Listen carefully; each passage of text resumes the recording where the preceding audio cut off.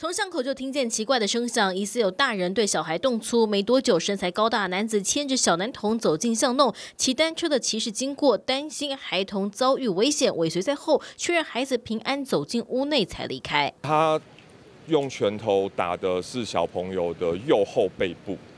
那当下在第二声攻击之后，小朋友其实有哭出声音来。但是我制止这个，呃，就出声制止这个男子之后，小朋友就立马停下了哭泣。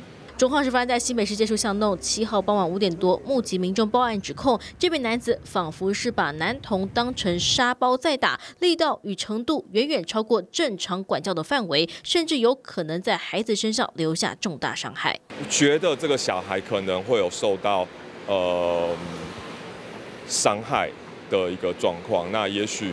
经由报案这个方式，才有可能制止后续这样子的行为继续发生。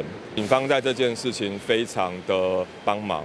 警方调查，这名男子是五岁男童的父亲，年约四十五岁，被附近居民目击徒手打小孩。好在被制止之后立刻停手，但警方仍不敢大意，立刻通报家暴防治中心，由家防官和社工查访调查。而在访视之后，父亲表示，孩子在骑车的过程晃动机车的龙头，这样的行为对父子俩都非常危险，也因此在停好车之后，严厉告诫孩子不得再犯。只是疑似用拳头管教的过程，引起附近居。居民的目光到底有没有涉及家暴或是不当管教？社工也将持续追踪。